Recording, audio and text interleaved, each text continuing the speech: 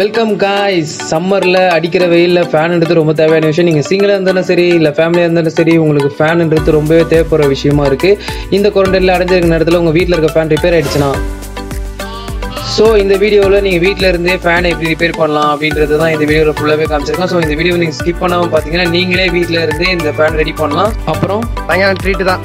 கிளம்பு. நம்ம இன்னைக்கு ரெடி பண்ண போகிற ஃபேன் இதுதான். ஸோ எங்கள் வீட்டில் என் ரூமில் இந்த டேபிள் ஃபேன் தான் ரிப்பேர் இருந்துச்சு ஸோ இதை வச்சு ஒரு டெமோ வீடியோ போட்டுடலாம் அப்படின்னு தான் இந்த வீடியோ அப்லோட் பண்ணேன்.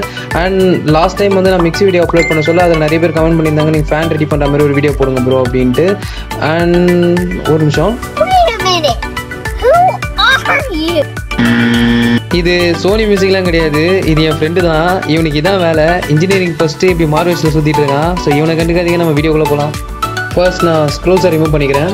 ஸோ இந்த வீடியோ பார்த்து நீங்கள் வீட்டில் டைப் பண்ண சொல்ல கொஞ்சம் கேர்ஃபுல்லாக பண்ணுங்கள் ஏன்னா இது டூ டுவெண்ட்டி வோல்ட் ஏசி சம்மந்தப்பட்டது ஸோ சேஃப்டி ஃபர்ஸ்ட் அண்ட் இந்த வீடியோவில் எஜுகேஷன் பர்பஸ் தான் கொஞ்சம் லேர்ன் பண்ணிக்கோங்க அண்ட் சேஃப்டியாக பண்ணுங்கள் என்னோட ஃபேனில் என்ன ரிப்பேர் பார்த்தீங்கன்னா கெப்பாசிட்டர் தான் ரிப்பேர் ஸோ அதுதான் நான் ரீப்ளேஸ் பண்ண போகிறேன் ஸோ எப்படி கெப்பாசிட்டி ரிப்பேர்னு கண்டுபிடிக்க? ஒரு த்ரீ சிம்டம்ஸ் சொல்லலாம்.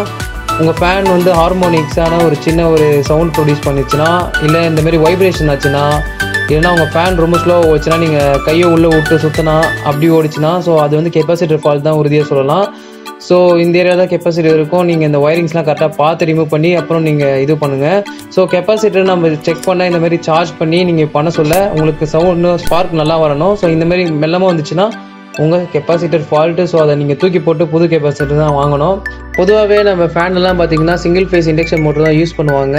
எதர் சீலிங் ஃபேனோ இல்லை டேபிள் ஃபேனோ ஸோ இந்த கெப்பாசிட்டர் பொறுத்ததுனால தான் இந்த ஃபேனுக்கு வந்து இனிஷியல் டார்க் கிடைக்குது அப்படின்ற ஒரு மித்து இருக்குது ஸோ அதை பிரேக் பண்ணுறதுக்காக நம்ம கெப்பாசிட்டரை எடுத்துட்டு அந்த ஒயரெல்லாம் ஷார்ட் பண்ணிவிட்டு ஸோ அதை வச்சு நம்ம ரன் பண்ணி பார்ப்போம். ஸோ அதை ரன் பண்ணுறதுக்கு முன்னாடி இண்டக்ஷன் மோட்டரை பற்றி கொஞ்சம் தெரிஞ்சுக்கலாம். ஸோ நம்ம ஃபேனில் யூஸ் பண்ணுற மோட்டர் இது தான் ஸோ இதை நீங்கள் பிரித்து பார்த்தீங்கன்னா இந்த மாதிரி டபுள் காயில் அரேஞ்ச் பண்ணியிருப்பாங்க. அண்ட் ஒரு ரோட்டர் இருக்கும் ஒரு ஸ்டேட்டர் இருக்கும். இல்லை auxiliary coil running coil split பண்ணி அரேஞ்ச் பண்ணியிருப்பாங்க. ஸோ இதில் பார்த்தீங்கன்னா ரெண்டு காயிலாம் இங்கே வந்து அரேஞ்ச் பண்ணியிருக்காங்க.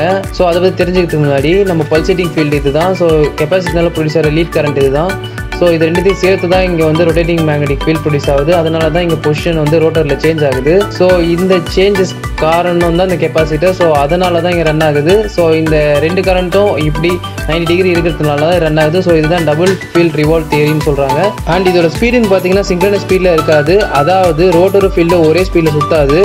அண்ட் இண்டக்ஷன் வந்து ஏசியில் தான் நடக்கும். ஸோ இதனால் ஒரு சின்ன டிலே ஆகும். ஸோ அப்படி நடக்கலைன்னா ஏசிக்கு டிசிக்கு டிஃப்ரென்ஸும் இருக்காது. போய்ட்டு இண்டக்ஷன் கான்செப்டே போயிடும் ஸோ இதனால் ரோட்டர் வந்து ஸ்டேட்டரை ஃபாலோ பண்ணும். ஸோ இதனால் ரெண்டு ஃபீல்டை வச்சு ஸ்பிட் ஃபேஸாக வச்சு இதனால் அந்த ரொட்டேஷன் கொடுக்கறதுனால இந்த ரோட்டர் வந்து இயங்கும்.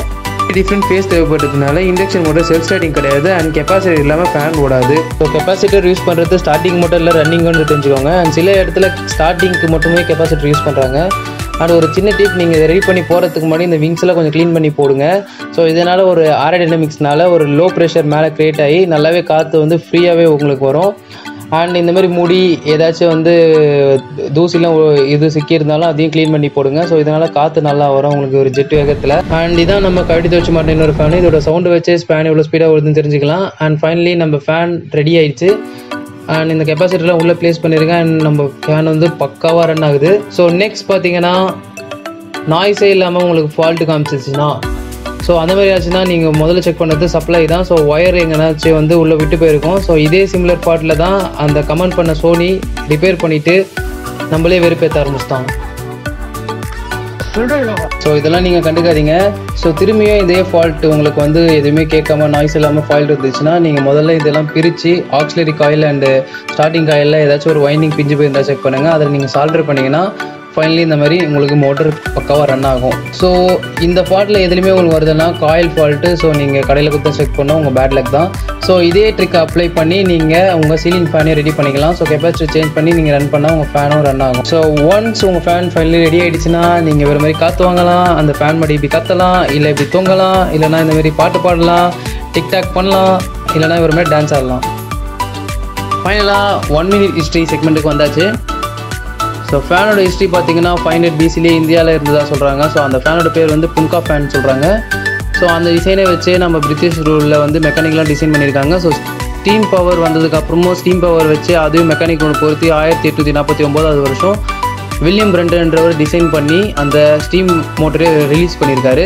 ஸோ அப்புறம் எலக்ட்ரிசிட்டி வந்ததுக்கப்புறம் ஆயிரத்தி எட்நூற்றி எண்பத்தி ரெண்டு காலகட்டத்தில் காலகட்டத்தில் ஸ்கேலர் வீலர்ன்றவர் வந்து ஃபர்ஸ்ட் எலக்ட்ரிக் மோட்டர் டிசைன் பண்ணார். நெக்ஸ்ட்டு அதே வருஷத்தில் பிலிம் தேல்ன்றவர் வந்து சீலிங் ஃபேனை ஒரு கம்பெனி அதாவது வந்து கிராக்கர் கர்டிஸ் என்ற கம்பெனியில் வந்து எஸ்டாப்ளிஷ் பண்ணார். ஸோ ஃபைனலி நம்ம இந்த ஃபேன் தான் நம்ம யூஸ் பண்ணிகிட்ருக்கோம் இருக்கோம். ஸோ ஒரு எண்டுக்கு வந்தாச்சு. இந்த வீடியோ உங்களுக்கு கண்டிப்பாக பிடிச்சிருக்கும் நம்புகிறேன் இந்த வீடியோ பற்றி விருப்ப வெறுப்புகளோட நெக்ஸ்ட் வீடியோ என்ன பண்ணலான்றதையும் கமெண்ட் பண்ணுங்கள் அண்ட் என் நண்பனை போல் இந்த வீடியோவை ஷேர் பண்ணுங்கள் லைக் பண்ணுங்கள் நண்பேண்டா. தேங்க்யூ